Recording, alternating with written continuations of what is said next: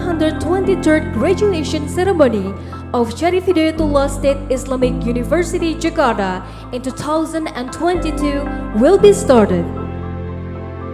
Selanjutnya atas nama Senat Universitas UIN Syarif Hidayatullah Jakarta, kami mengaturkan terima kasih kepada semua pihak yang hadir pada acara ini, baik secara offline maupun secara online.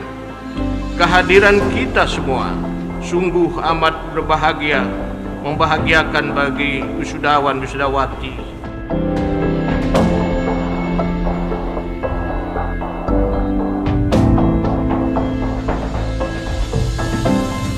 Pembacaan surat keputusan rektor.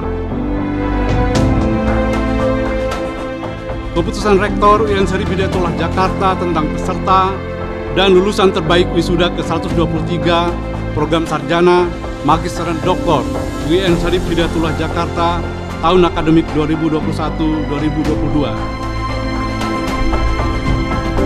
Siha Syakia Laili, Aden Ahmaduddin Kamil Alwari, Muhammad Fauzi Nurdin,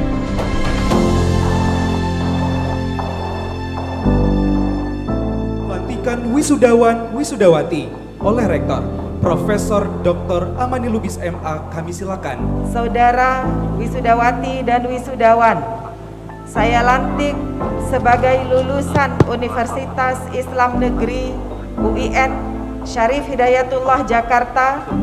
Semoga Allah Subhanahu wa taala senantiasa melimpahkan hidayah dan inayahnya Mahdiah Ramadhani Lutfi Hidayah. Yayu Hidayah. Dede Laila Wardah. Fadil Abdillah.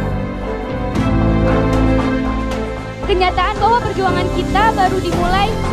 Benar adanya. Selama ini kita telah menjalani kehidupan di dalam kampus, sebuah dunia yang di dalamnya kental dengan nuansa akademik, tempat kita di mana belajar dan menempa diri kita. Namun ketahuilah bahwa disematkannya gelar sarjana kepada diri kita di hari ini merupakan awal bagi kita untuk menempuh sebuah kehidupan baru.